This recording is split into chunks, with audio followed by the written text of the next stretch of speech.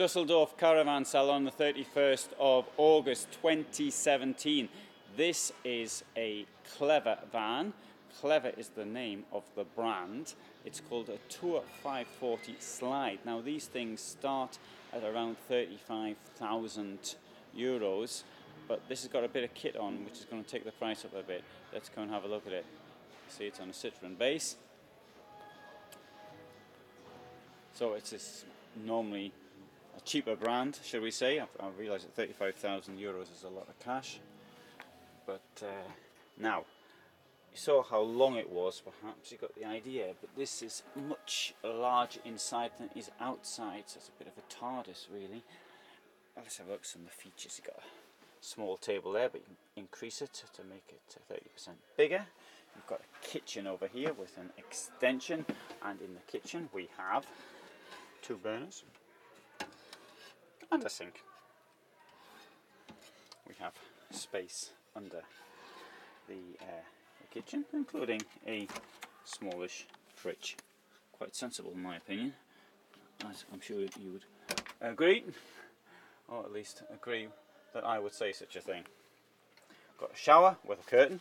You know, I was thinking of doing something like this in my own van to just to put a, you know, just take the door off. I took the door off and I was going to put a curtain up, but then we decided that, well, we'll just tear the van to bits anyway and do something really odd. So I never actually got round to just putting the curtain. In fact, I never bought the curtain.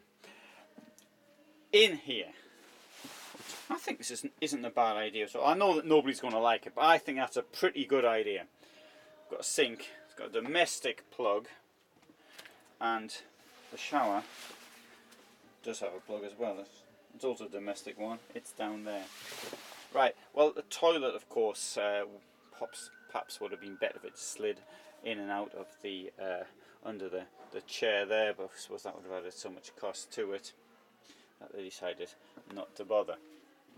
You've got a window there in the shower. Incidentally, what do you think of this shower? Because I'm going to better get some opinions on this one here. There's no wall, there's just a curtain because I think that's a brilliant idea for saving space in a small van. I mean, you wouldn't expect it in a sort of a eight meter long uh, liner or something, but in a van of this nature, I think that's not a bad idea at all. Okay, well, think about that one. And while you're thinking, let's have a look down here. So you wouldn't be sliding anything in and out of the chair, under the chair, because that is the boiler.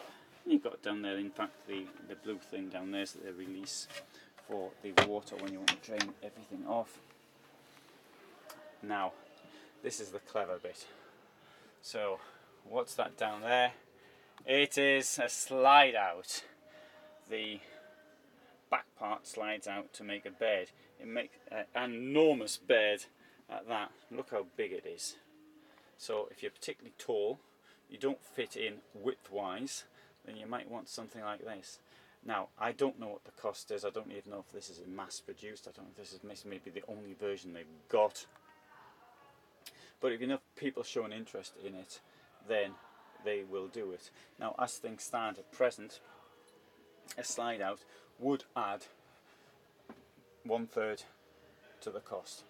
So it would be one third of the cost. So that would put around 35,000 starting price. You'd expect the slide out of 17, 18, maybe even more thousand euros onto the cost. These things are not cheap, but I think the prices are actually coming down. So it may be possible to get vans with slide outs uh, before long. Now this is a particularly big slide out because often the slide out will only add maybe square meter or something like that. But as you can see there, that there is two square meters, so it's really effectively it's about double this, the size of a, a conventional slide out, the sort of things we can see in other vans here in Europe. Of course you can't get these enormous slide outs and these uh, uh, liners like 12 meters long and uh, the slide out itself is 4 meters long, something like that. I mean it's possible but uh, you don't really see it here in Europe.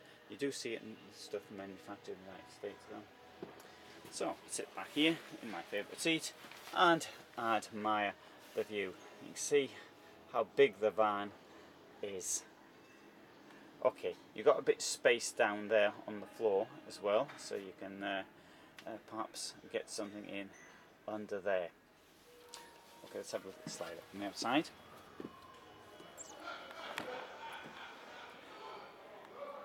Oh, this van here is 37,000 euros, called a Ruma.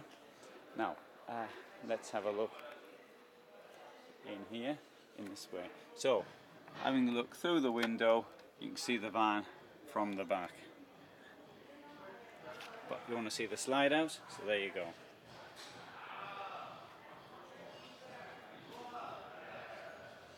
The thing about slide outs is they really make it much easier to park, to move. There's a fear, there's two fears that I can think of.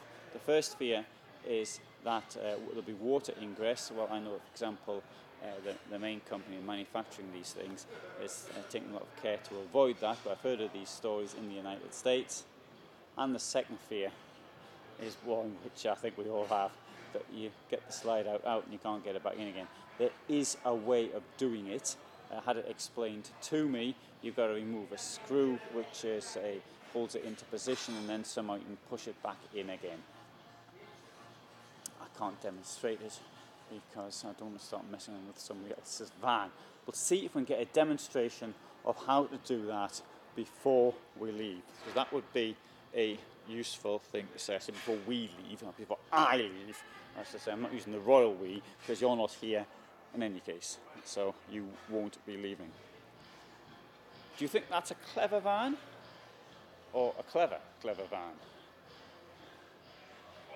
Put your opinions down below.